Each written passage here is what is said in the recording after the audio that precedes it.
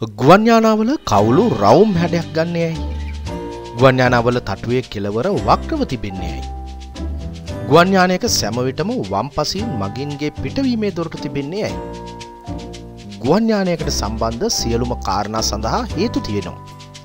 ගුවන් යානාවන් නිර්මාණය කර ඇත්තේ තාක්ෂණය උපරිම අයුරින් යොදා ගැනීමෙන් හා තවත් බොහෝ කුඩා කුඩා කරුණු ගැන සැලකිලිමත් වීමෙන්. සංචාරය කිරීම සඳහා ගමන් මාධ්‍ය ලෙස ගුවන් ගමන් ආරක්ෂිත ගමනක් වන්නේ මේ හේතුන් නිසාවෙන්. නමුත් ඔබ දන්නවා මෑතක සිට ගුවන් යානා කඩා වැටීම බොහෝසේ සිදු වුණා. මේ නිසා බෝයින් වර්ගයේ ගුවන් යානා නිෂ්පාදනයන් නවතා දැමුණා. ඒ වගේම රටවල් ගණනාවකින් ඒවා මිලදී ගැනීම සහ ඒවා යොදා ගැනීම සම්පූර්ණයෙන්ම තහනම් කළා. ඉතින් මේ වගේ වටපිටාවක් තුළ අද අපි කතා කරන්න යන්නේ ගුවන් යානයක විශේෂ ලක්ෂණ ගැනයි. සමහර විට මේ විස්තර ගැන ඔබ නොදන්නවත් ඇති.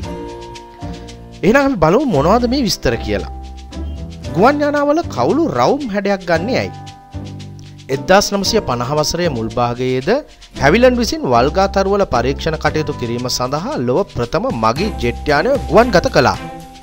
මින් වසරකට පසුව ගුවන්යානාව විනාශ වී කැබලි කැබලිවලට කඩා වැටුණ. මින් මාස දෙකට පසු තවත් ගුවන්යානා දෙකක් ගුවනේද විනාශ වුණා. මේ සඳහා හේතුවත් තිබිය යුතු බව සිතූ පරීක්ෂකයන් මේ පිළිබඳ සොයා බැලීමට විශේෂ පුහුණුවලත් ඉංජිනීරවරුන් කණ්ඩායමක් ගෙන්වා. ඉංජිනේරුවන් විසින් යානයේ ස්කෘප්වය පටන් සෑම කොටසක්ම පරීක්ෂා කර ගැටලුව සොයන්නට සමත් වුණා. ගැටලුවට හේතු වන්නේ කවුළු හතරැස් කොටු හැඩයකින් යුතුවීමයි. හතරස් කොටු වල කොන් හතරෙහි පීඩනය වැඩි වශයෙන් ගොඩනැගෙන අතර ගුවන් ගමනේදී මෙම පීඩනය ඉතාමත් වැඩි වශයෙන් ඉහළ යනවා. එබැවින් කවුළු රවුම් හැඩයෙන් සෑදීමට ඉංජිනීරුවන් තීරණය කළා.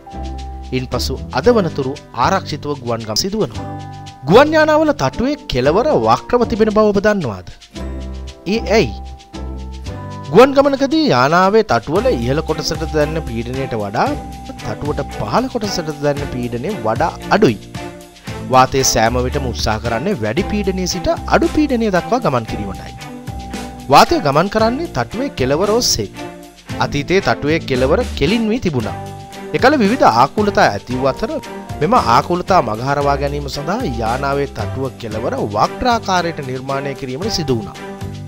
මේ හේතුවෙන් ගුවන් ගමන්වලදී සිදුවන තෙල් පරිහරණය අවම කර ගැනීමට හැකියාව ලැබුණු අතර ගුවන් ගමන සුව පහසු එකක් වීමටත් මේ හේතු වුණා. ගුවන් යානාවල මුහුණේ ඉදිරි කෙලවර විවිධ හැඩයන්ගෙන් යුක්තයි.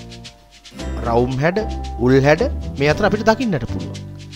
මේ හැඩගන්නේ ඇයි? ආරක්ෂක අංශ සතු ගුවන් යානාවල මුහුණේ ඉදිරි කොටස උල්ලු හැඩයකින් යුක්තයි. යානයේ ඉදිරි කොටස තියුණු බව වැඩිවීමත් සමග යානයේ වේගය වැඩි වෙනවා. නමුත් ඉතා දිගු ඉදිරි කොටසත් සහිත යානාවල නියමුවන් හට ගමන් මග නිවැරදිව නොපෙනෙනවා. එබැවින් මගී ජෙට් යානාවල ඉදිරි කොටස රවුම් හැඩයකින් යුතුව නිර්මාණය කළා. නමුත් ඔබ දන්නවාද හැටේ දශකයේදී මෙම ගැටලුව නිරාකරණය කිරීමට රුසියානු ඉංජිනේරුවන් සමත් වුණා. ඔවුන් විසින් ලෝ වඩාත්ම වේගවත් මගී ජෙට් යානාව නිර්මාණය කළේ අවශ්‍ය වූ විට ඇද කළ හැකි ඉදිරි කොටසක්ද සහිතවයි.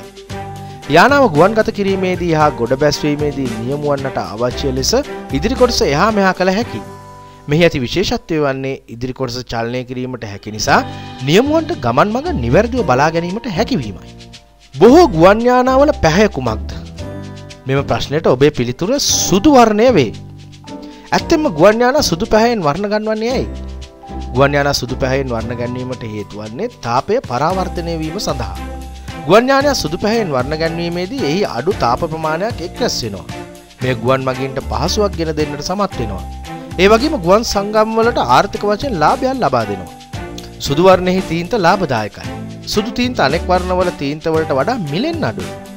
පක්ෂීන් සමග ගැටීම වළක්වනවා. පක්ෂීන් හට සුදුවර්ණයෙන් පරාවර්තනය වියන කිරණ පැහැදිලිව දැකගත හැකිවන අතර මේ හේතුවෙන් පක්ෂීන් ගුවන් යානාවල ගැටීම සිදුවන්නේ නැහැ. සුදුවර්ණය නිසාවෙන් ගුවන් යානාව ඇතිවෙන කුඩා පළුදුවීමක් හෝ ඉරිතැලීමක් ඉක්මනින් හඳුනා ගන්නට හැකි අතර අනතුරක් සිදු ඊට පවා ඉක්මනින් හානි වී ඇති තැන් අනාවරණය කරගෙන ප්‍රතිකර්ම සිදු කිරීමටත් හැකියාව ලැබෙනවා. ගුවන් යානයක පිටවීම සඳහා දොර තිබෙන්නේ කොයි පැත්තෙද? මදක් සිතන්න. ගුවන් යානයක පිටවීම සඳහා වම්පස තමයි දොරක් තිබෙන්නේ. ඒ ඇයි?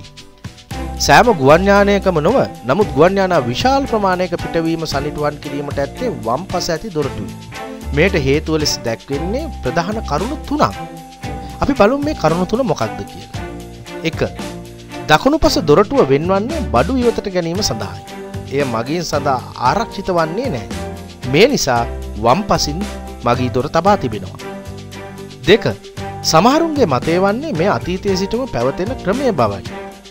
නැව්වල පවා මගින් සඳහා වෙන්වන්නේ වම් පස දොරයි. තුන ගුවන්යානේ ප්‍රධාන ගුවන් නියමුවාද අසුන් ගන්නේ වම් පස අසුනේ.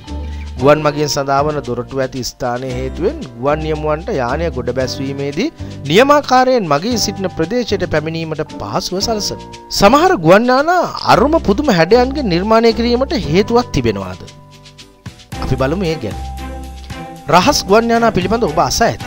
එහි ඇති අරුම හැඩය සඳහා හේතු වන්නේ රේඩාර් කිරණ සෝන ඉන්ෆරෙට් කිරණ යොදාගනිමින්නා වෙනත් අනාවරණ ක්‍රමවලට හසු නොවීම සඳහා මෙවැනි හැඩයන්ගෙන් යුක්තව නිර්මාණය කරනු ලබනවා. තවද බඩු විශාල ප්‍රමාණයන්ගෙන් ප්‍රවාහණය කිරීමට මෙන්ම ඉන්දන අඩු වශයෙන් භාවිතා කිරීම සඳහාත් මෙවැනි ක්‍රම උපයෝගී කරගන්නවා. පරපෝෂිත පක්ෂීන් තම පිහිටීම භාවිතා කරන්නේ ඔවුන්ගේ පියාසර අවකාශය වැඩි කර ගැනීම හා තමන්ව පැහැදිලිව පොළොවේ සිටින සතුන්ට නොපැනීමටයි. එවිට පහසුවෙන් ඔහුට ගොදුර වෙත ළඟා විය හැකි. සමහර ආරක්ෂක අංශවලට අයත් ගුවන් යානාද පක්ෂීන්ගේ හැඩරුව ගන්නේ මේ හේතුවෙන්. මෙවැනි හැඩයන්ගෙන් යුත් යානා ඉතා මිල අධික වන අතර සිවිල් ජනයා ප්‍රවාහණය කිරීම සඳහා යොදාගන්නේ නම් නැහැ. ගුවන් යානා බොහෝ ඉඩ ඇතිව සහදන්නේ ඇයි. ගුවන් යානා විශාලව නිර්මාණය කිරීමට ප්‍රධානම හේතුවල් ලෙස එකවරකට මගින් විශාල ප්‍රමාණය රැගෙන යාම දැක්විය හැකි අතර තවත් කරුණු කිහිපයක්ම මේ සඳහා ඉවහල් වෙනවා. උදාහරණයක් ලෙස ගුවන් යානයේ බිත්ති යම් සුවිශේෂී හැඩවලින් යුක්ත වෙනවා. මෙසේ නිර්මාණය කර ඇත්තේ ආලෝකය හරියාකාරව පරාවර්තනය කර ගැනීමටයි. එහි සිවිලි මහා බඩු බාහිරාදිය දැමීම සඳහා ආසනවලට ඉහලින් සාදා ඇති රාක්ක අලංකාරව දීප්තියකින් යුක්තව නිර්මාණය කර ඇත්තේ ගුවන්යානාවල ගමන් කරන ක්ලස්ට්‍රෝෆෝබියා තත්ත්වෙන් පෙළෙන්නන්ගේ සුවතාවේ සඳහායි. ඔවුන්ට යානාවේ හැඩය හරියාකාරව පෙනීමට පහසුවක් ඇති කිරීම සඳහායි. ගුවන් නියමුවන් විසින් සම්පූර්ණයෙන්ම රැවුල කැපිය යුතු බව දන්නවාද. ඒ ඇයි ලොව ඇති සමහර ගුවන් සමාගම්වලට අනියුක්ත ගුවන් නියමුවන්නට රැවුල වැවීම සම්පූර්ණයෙන්ම තහනම්. රැවුල මගින් මුහුණට හරියාකාරව ඔක්සිජන් ලැබීම වලකාලනවා. යම් හදිසි අවස්ථාවක් ඇතිවුවහොත් දහස් ගණනින් ජනයා සුරක්ෂිතව ගොඩ බැස්වීම සඳහා ගුවන් නියමුවා සිහි ඇතිව සිටීම ඊට හේතුවයි. ඉතින් ගුවන්යානා ගැන ඔබ නොදත් තොරතුරු තම අද අමුතු වීඩියෝ අපි ගෙනාවේ. තවත් මෙවැනිම වෙනස් වූ අමුතුම තොරතුරු සමගින් අපි හමුවෙමු. ගිහින් එන්නම්. ඔබට සුබ දවසක්.